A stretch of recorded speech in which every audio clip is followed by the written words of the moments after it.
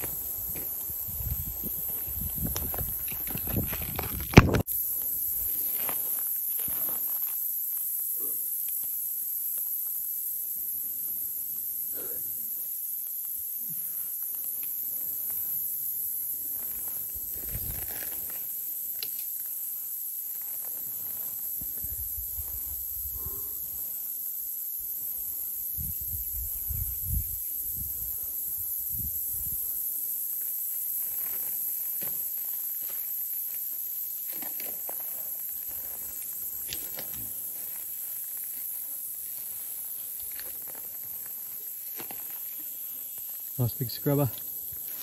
Nice and close. First shot I thought was sweet and high lungs. Not so good, but it stopped him. And uh, enough for me to sneak in. I, I shot him twice at, at about 10 metres, 10 to 12 metres. So, all respected, uh, these will be the last moments, I guess. See if I can save those arrows. Oh, they come this way.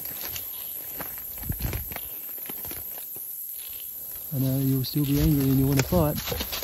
Yep. Just save the time. I'm not going to save an arrow here. Good save that one. Yep. Now we've got the other one. Yep. No, he's not going far. There he goes.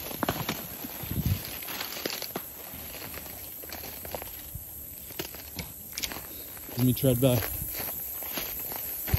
Oh, up. Oh, mate. Like it to have been a, a lot.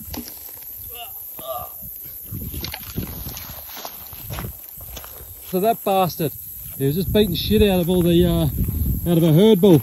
I followed, just followed these tracks to water looking for this dog with a trad bow. And boom, I nailed this thing. This thing's uh, must be just over a metre and fighting like hell. Done, man. Done. That's everything. All right, so these one of the hardest ones to get uh, due to the fact you go where you got to go where people can't get to to get these things out. So you can only hunt the nasty of the nasty because uh, the rest of them they'll catch in and sell because these here go for a bit of money. They're actually quite good. Uh, good to sell. I've only just dropped him got him with the trad bow. Spewing, I bloody dropped my little quiver bit, so trad bow's out now. I got a couple of arrows left, I probably got half a dozen arrows left. But uh, yeah, just two there, one there, one there. Oh, I'm just gonna let him settle down for a bit. It's only just gone down. It's got a stick in my eye. I've uh, probably done about